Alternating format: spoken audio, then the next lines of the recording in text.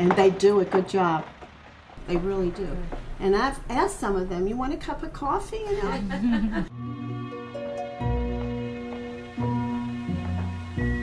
There's over 200 trains a day that come through this line.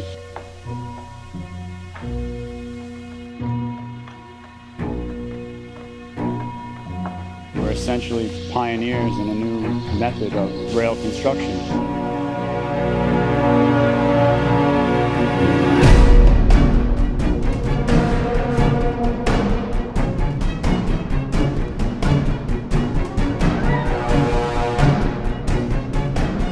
We're going to see a, a transformation in Long Island Railroad's ability to serve the public in the future. It just shows that we can get things done, and we're getting things done differently, more efficiently, more effectively. Another proud day for Long Island Railroad and the industry.